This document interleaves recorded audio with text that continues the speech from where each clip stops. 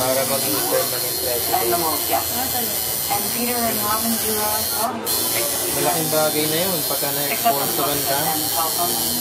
Isang taon, pwede ka na mag-file uh, ng ano, This is my cousin Lily. citizenship. She can't legally work here, so we Buod ka na lang nun. Okay She na still yun. has my.